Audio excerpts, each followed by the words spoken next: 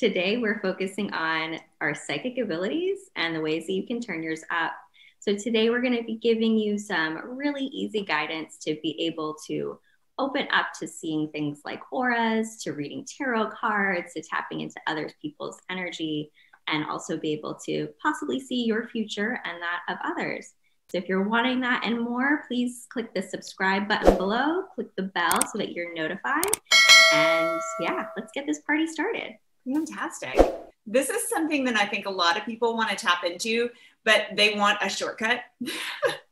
you know, they don't want to they don't want to spend the time to really learn about it. They want to watch this video and then be able to like, I don't know, go look in a crystal ball and see everything. So what what is something what is a realistic expectation do you think for somebody who really is interested in this you know what type of investment of time and attention are they going to really have to make in order to make the shift so that they can do things like have the the meaning of their tarot cards or tapping into people's energies like you said?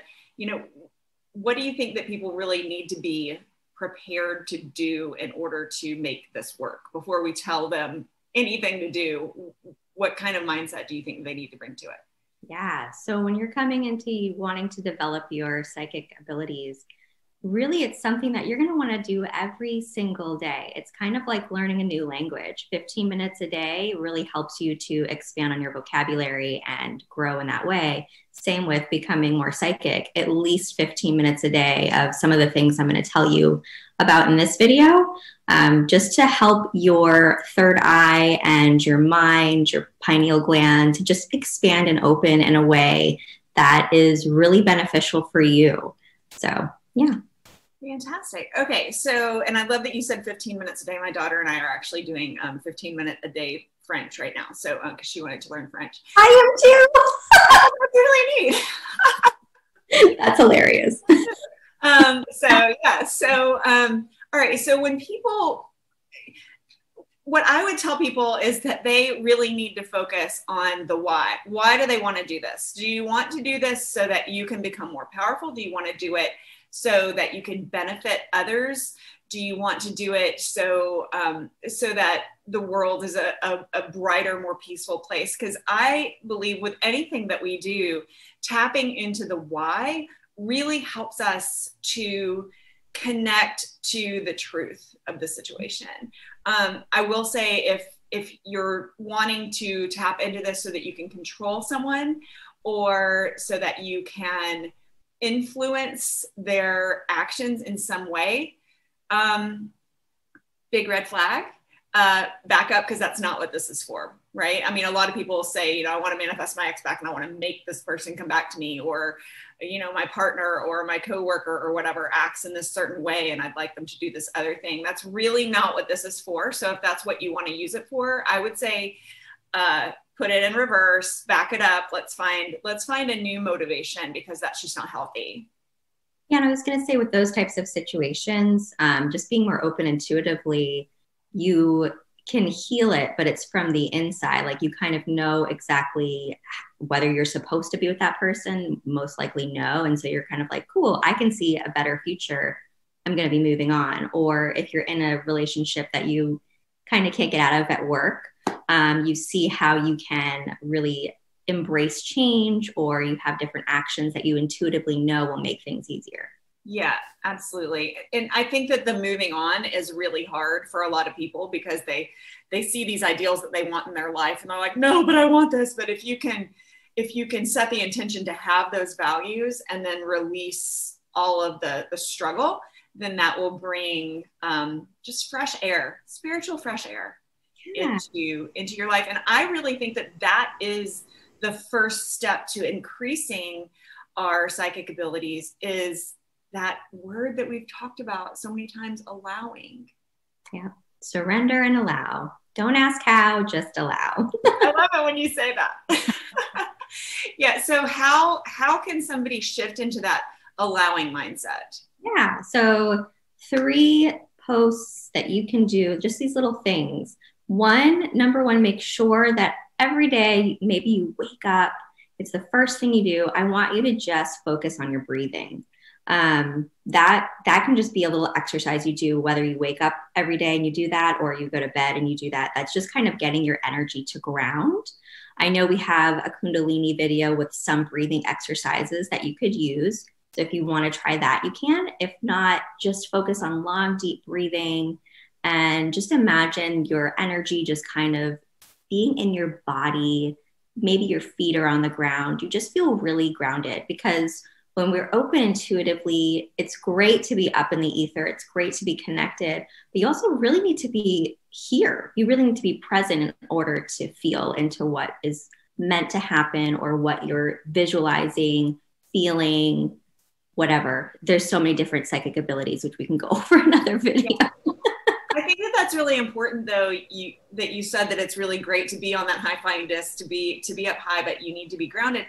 That's why we're here is to be grounded and to be connected to the earth. Otherwise why are we in this human experience? So i think that the place where a lot of people go wrong with that thought is they either think it's up here or it's grounding to the earth and it's not. Why do you think that we're built long? We're built to reach in both directions yeah. we are straight up and down animals. And we do have our our third eye we do have our crown and they reach up and out. And then our, our other chakras obviously the, the primary channel in a channel form it none of this is by chance. You have all these signs all around you. So you can reach up and down at one time. I know Pixi you're you're a yoga instructor and you know when you when you stand in mountain pose that's what you're doing is you're reaching up and down and i really think that i love that you said focus on your breathing first thing in the morning and what I do is I actually do, I, I visualize myself, though I'm laying flat, I lay flat on my back and I do breathe. Uh, I do deep breathing, but I visualize myself reaching to the sky and to the ground and watching my energy expand the length of my body. And I do that before I even put my feet on the ground. Yeah. So that's actually, I was going to say something that I teach my priestesses is that you are a bridge. You are, like you're saying, that connection up and that connection to the earth. And that's a perfect breath to use that you, you use every morning is to really inhale, maybe visualize yourself connecting to the universe, bring that energy back in, connect it down to the earth. And honestly, bringing both and bringing it to your heart space and expanding, that'll lead me to my last point. But yeah, just bringing that energy in to really feel and be intuitive from the heart space, I feel is really important. Absolutely. Absolutely. And, and then from a mindset space, the thing that I tell all of our clients to, to say to themselves, very first thing is today is a great day to have a great day. Deciding that you want to be that channel of positivity, regardless of circumstances. You know, a mountain doesn't stand any any shorter because of what's going on around it. It you know stands tall and and that's that's really what we are. We are the the the mountain connection. Yes. Oh i love that. Oh, anyway let's stay focused. So the next one the next one that actually is a great book that i use and i can show it in a minute but is visualization. Just visualizing and if you're not the best at visualizing feeling, or maybe you're really good at auditory, just taking time with the senses that you feel good at first. Um, and then later you can take time with the senses that you're a little bit like, okay, I need more practice. So let me just give an example. So if you are very kinesthetic like I am, so you like movement, you like to visualize, I will actually take my hands, and I know probably a lot of you practice or have had Reiki and I'm, I'll close my eyes and I'll just start to visualize a ball of light in between my hands. And I try to feel it. So as my hands are moving, the energy is growing and expanding until I could make a huge bubble that I could step into um, or I'm going to visualize, you know, that job or that connection or that future that I'm wanting every single day. Um, another thing, again, if you're not really good with the visualization portion, you could just sit in a meditation and just stay open to what you're meant to hear from the universe. I'm very auditory, so I love doing that and just getting messages or guidance. And you might find that, oh, wow. I'm actually connected to these angels or this these star people or whatever comes through. Um, and then one last thing for that, like getting some practice in, even just sitting out in nature and just listening to sounds or smelling the smells, or when you're eating, just like really being present with the tastes, the more you can get into your senses, the more you're going to develop these abilities. I love spending time outside with my eyes closed. I mean, of course, I love spending time outside with my eyes open, but when you close your eyes and you you challenge, I mean, I think that a lot of us rely on our eyes in a bit of um, a crutch sort of way. Yep. Like, you know, everything that I can take in is going to be taken in here. But when you allow that rest to happen for your optic nerve, your other senses kind of tingle and come alive a little bit more and you do recognize things that you wouldn't recognize before. And and that's not just a physical thing that really is tapping into that psychic power. And one thing that you said really close to the beginning of this video is um, you know people want to tap into each other's energy. And the best way i believe really to tap into other people's energy is by having your open channel being open but allowing that to enter through different senses. We just i think rely on this too much. And when we're relying on our eyes too much we miss other things. Yes, 100%. Yeah, you can be a lot more intuitive by opening up your senses and really practicing that way. Um, the last thing, just kind of like touching into, like you just said, reading other people or reading other people's energies, is just to be energetically hygienic and having a little bit of protection. So, as we talked about in the beginning of that beautiful breath you could bring in from the universe down to the earth, connecting you, um, if you want to visualize at the same time this energy coming in through your crown and this energy coming up from the earth and meeting at your heart space, and then just watching that energy surround you in a beautiful bubble of protection, really visualizing your protective bubble and acknowledging what you are allowing in your sphere and what you're not will help you on your journey so that for some people, they believe that you might pick up other energies or what have you, but really it's just kind of keeping you and your energy in alignment.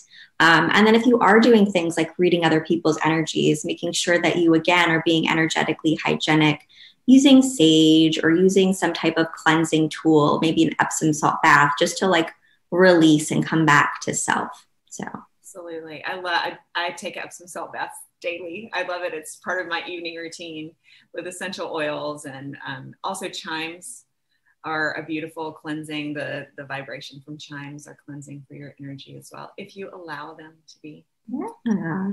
That's fantastic. All right. Well, if this video has been interesting to you, of help at all, give us a thumbs up. And if you're not a subscriber, please do make sure that you hit that subscribe button and the little bell so you'll know the next time we drop a Woo Woo Wednesday video to help you live a more connected, intuitive life.